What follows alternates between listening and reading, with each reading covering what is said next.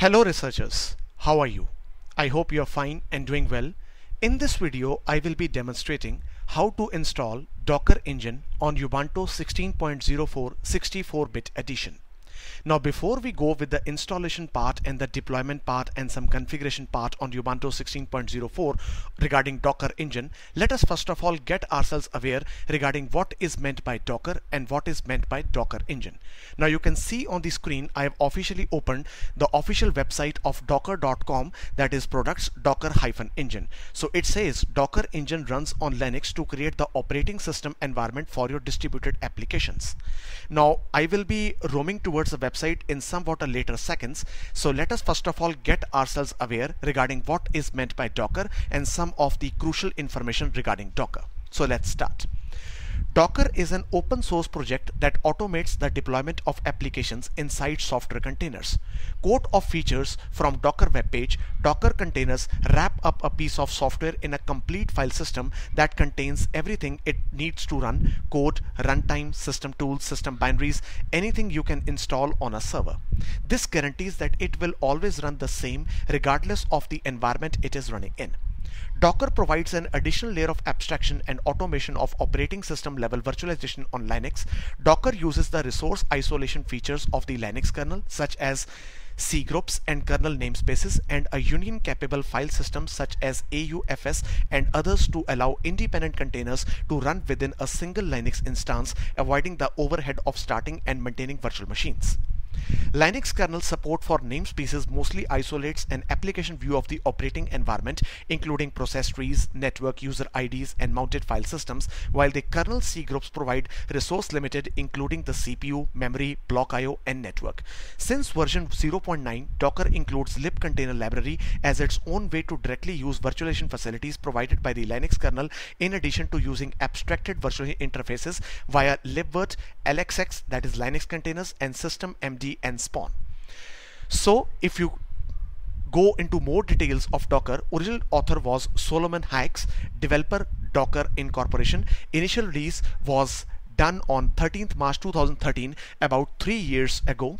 The stable release is version 1.11.2, which was released on 31st May 2016, about 14 days ago. It is purely written into Go programming language and the operating system is Linux, but make it sure that it only supports 64-bit addition. And the type is operating system level virtualization. License is under Apache License 2.0. And now let us come to the official website. Now the official website says, which I have already given you. So let us go to this product overview. You can see a cool environment and a cool image over here which says of the apps the binary oblique libraries docker engine operating system and infrastructure which means we will be using our laptop as an infrastructure we use ubuntu as an operating system and we will be installing docker engine and it will contain middleware as libraries and over there you can install your apps so you can say Docker Engine is one of the most rapidly growing open source projects on GitHub and it is available as open source download or commercial support subscription. So let us go to this why Docker. You can you can find what is Docker, customers, pricing for government, for products. You can have different types of products. So I will be meticulously covering all these type of products and toolboxes in my later videos. So our the partners you can find AWS as Amazon Web Services, IBM, Microsoft Partner Portal, community. It is an active community, company, careers, and even open source. So even if you click on docs, you can find much better information of docs over here. So it's a very clean website. You can find all all the information regarding toolboxes, Docker Cloud, Docker Machine, and everything over on this website. Even you can click on training, you can find more training and more resources over Docker. So instruction fed learning and self-paced learning. So everything is available for Docker. So now let us proceed to the part B of this video in which I will be demonstrating how to install Docker Engine on Ubuntu 16.04. So before we start with the installation, let me first of all tell you that uh, here is the official website that is releases.ubuntu.com slash 16.04 which is codename Xenial Xerus.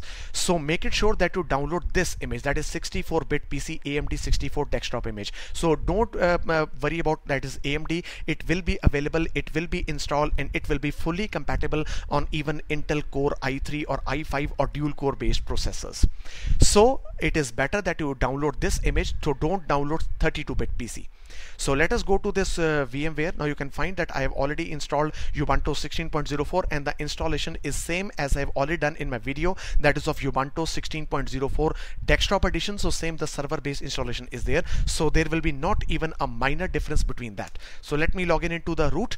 Uh, so you can see that there are the steps. So before I go with the installation, so let us follow all these steps. So make it sure that your system runs the latest Docker engine into Ubuntu 16.04.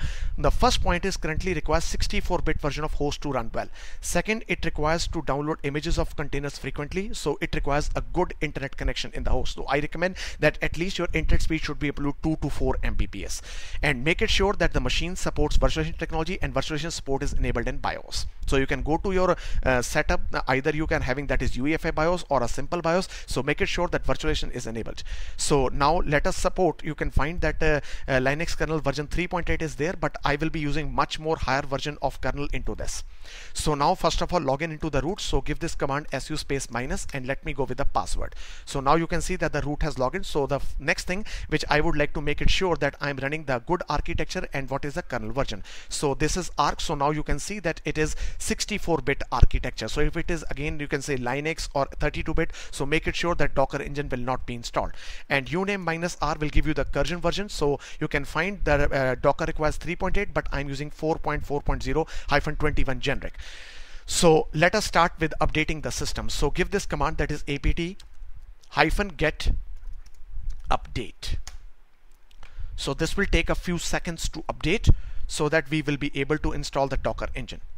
So now let us, uh, after the updating, we will be installing Docker engine. So we will be first of all adding the repository into the, with the new GPG key for our Docker repository. So let's wait for this apt-get update to get uh, updated. Now you can see that it has connected. It will take some time because it's a fresh version, but once you go with some more versions, you can find uh, more good release into it. So it is done, good enough.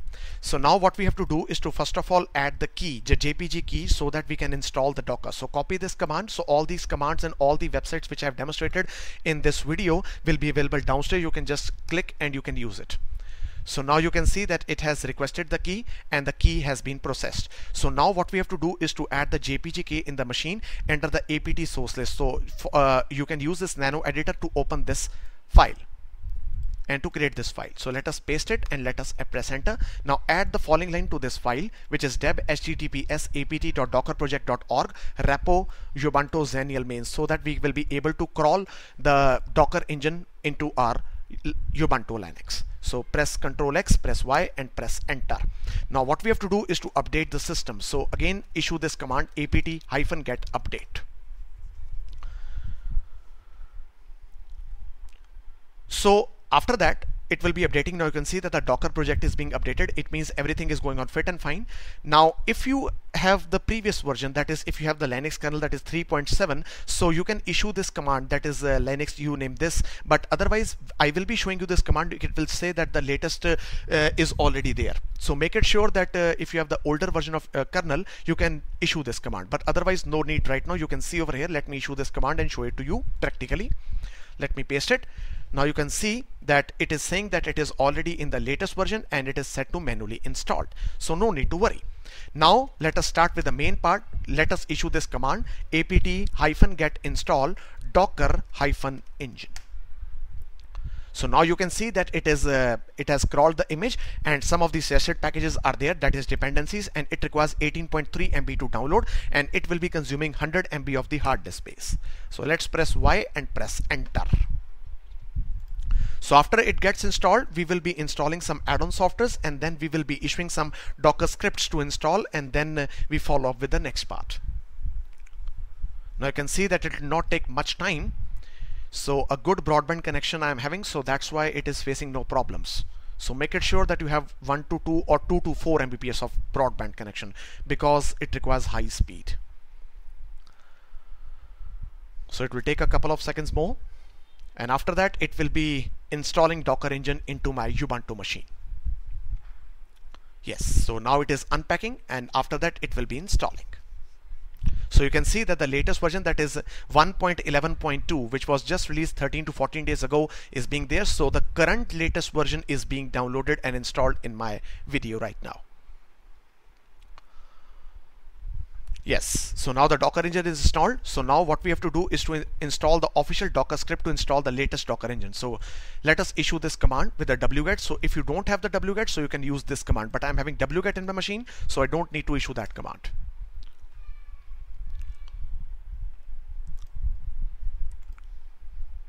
So now it is it is showing that the Docker command already exists on this system, but uh, we will be issuing this script now. So after that, what we have to do is to add the user to Docker group. So I'm having a user that is Anand with my name. So I will be using that only user of my name it, in order to add the user to the Docker group. So it is crawling the GPGs. Everything seems normal. And now you can see that it is installing this Docker engine with this command. So it will take some time, but not much time.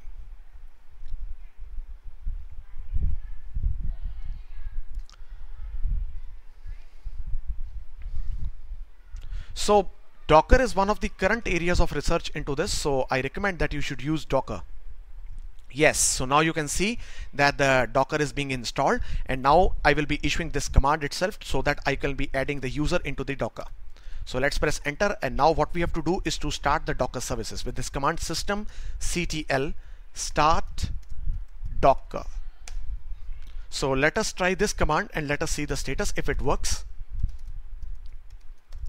Yes, so now you can see that it is active and running.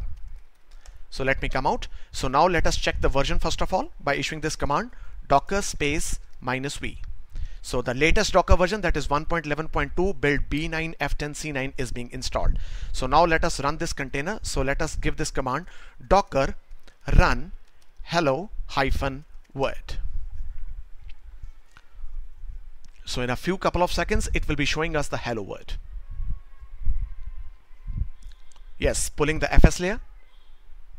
So at this point of time, the much better broadband connection you have, the much better results it shows. So now you can see that it has given hello from Docker and it shows that the installation works correctly. So which means that everything works fit and fine. Now let us issue this command. Sorry, Docker images. So hello world images being there. So let us uh, manage the Docker by issuing this command that is docker space ps space minus a. So to show you the status, this is the process ID. So if you want to uh, stop the Docker, you can say that is docker stop and you can write down the process ID. If you want to remove anything that is docker rm this process ID. I have given all these commands and if you want to pull Ubuntu image that is docker pull Ubuntu. So it will be uh, pulling up the image of Ubuntu also.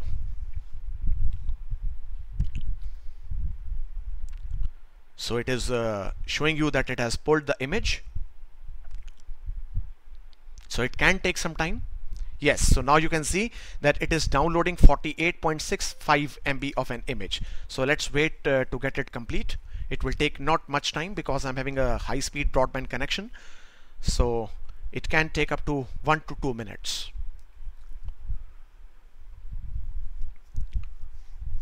So uh, in my next coming videos, I will be focusing more on Docker. I will be focusing more on the toolboxes. I will be making more videos on that. So this is just an introductory video that how to make the Docker environment and what is actually meant by Docker. What are the basic system requirements for the Docker to have the environment into your couple of machine. And believe me, everyone, it's a vast, vast word of making a Docker on this machine. And so there are millions and millions of commands also. So rest you can go to this website, you can take the tutorials and you can use as such tutorials over there. So almost 50% has been downloaded. You can see in less than 30 seconds I have downloaded 27 MB. So let's wait for the next couple 30 seconds.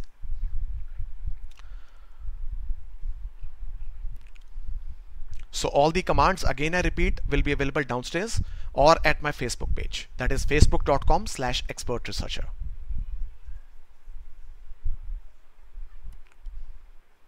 So almost there.